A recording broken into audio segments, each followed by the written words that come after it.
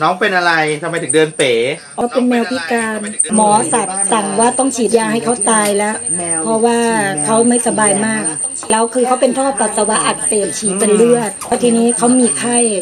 หมอบอกว่าต้องฉีดให้ตาย เพราะว่าเขาอยู่ไม่ได้แล้ว แต่เราบอกว่าอย่าฉีดเลยสงสาร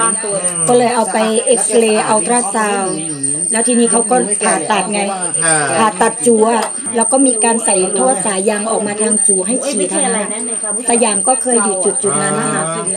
แล้วเขาก็มีชีวิตต่อเนี่ยดีเสร็จอะจะห้าปีแล้วเนี่ยดีใจกับน้องด้วยจะห้าปีแล้วค่ะเขาเคยตาบอดสองข้าง แต่ว่าตอนนี้เห็นนิดหน่อยแล้วพอไปผ่าตัดตามาสองข้างเลย แต่นี่ก็รักษามาแล้วนะ ตอนแรกตอนแรกบอกกับข้างเลยคุณมองใช่ เห็นว่าอันนี้ผ่าตัดมาแล้วค่ะผ่าตัดได้แล้วผ่าตัดมาแล้วนะ ช่วงโควิด -19 พอดี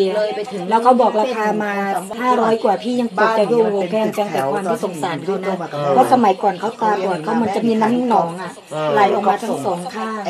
แล้วพี่จะต้องคอยเช็ดหนองจากตาเขาวันละเจ็ดครั้งถึงสิบครั้งอะหมอเขาใจดีมากวันที่พี่ไปรับแมวเขาผ่าให้สองข้างเลยโอ้พี่โคตรช็อกแล้วก็แบบแก้มสงสารเขาด้วยนะ คือเขาคิดราคานั้นเลย จากราคาข้างละห้าร้อยกว่ายูโรเขาตัดสินใจผ่าตัดให้เลยสองข้างราคาเห็นว่านั้มันนดีกว่า